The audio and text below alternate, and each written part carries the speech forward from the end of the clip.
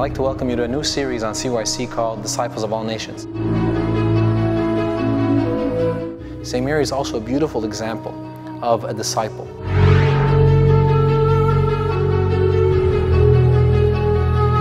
He became such a holy man. There is nothing said by him in the entire New Testament.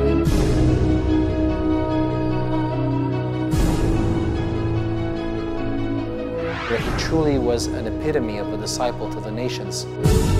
My name is Father Peter Saad of St. Peter and St. Paul Coptic Orthodox Church in Montreal, and I'd like to welcome you to a new series on CYC called Disciples of All Nations.